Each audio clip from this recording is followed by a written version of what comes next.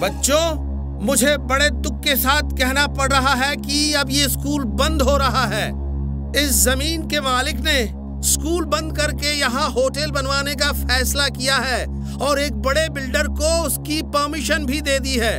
तुम सब किसी और स्कूल में अपना एडमिशन करवा लो। सर ये कैसे हो सकता है?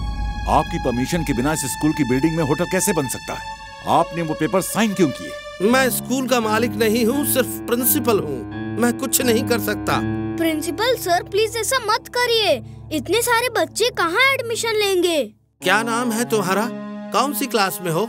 तुम्हें एक बात समझ में नहीं आती कि मैं इस ज़मीन का मालिक नहीं हूँ और मैं कुछ नहीं कर सकता। ये फाइनल डिसीज़न है स्कूल की ज़मीन के मालिक का समझे? सर सर एक मिनट सुनिए तो। सर मेरी बात का जवाब दीजिए। आप ऐसे कैसे जा सकते हैं? सर।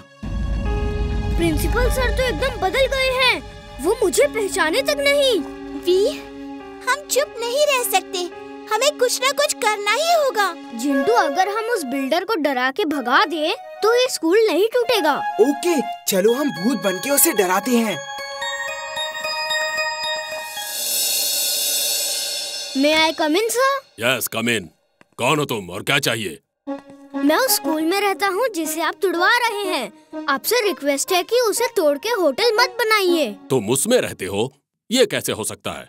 उसमें तो हॉस्टल नहीं है। मैं तो उसमें सौ साल से रह रहा हूँ। मैं उस स्कूल का भूत हूँ। First student of that school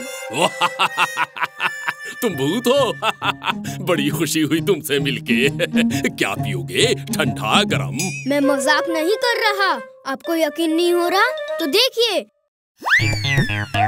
मैं क्या क्या कर सकता हूँ?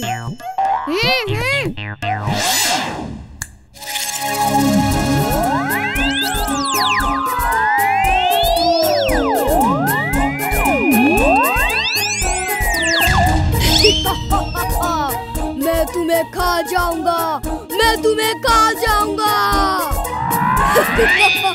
वाह वाह क्या जादू है। कैसे किया? अब मुझे भी सिखाओ। प्लीज़ प्लीज़ प्लीज़ तुम जितना पैसा मांगोगे मैं दूँगा। सिखाओ। मैं भूत हूँ मैं किसी को ट्रेनिंग नहीं देता। मान जाओ मेरी बात स्कूल मत तोड़ना वरना? प्लीज़ प्लीज़ मुझे भी ऐसा जादू सिखाओ ना। प्लीज़ तुम जो मांगोगे मैं दूँगा। तुम मुझे बच्चा समझ के मुझसे नहीं डर रहे हो ना? मेरे और दोस्त आएँगे और तुम्हारी अच्छी खबर लेंगे। चिंटू चिंटू।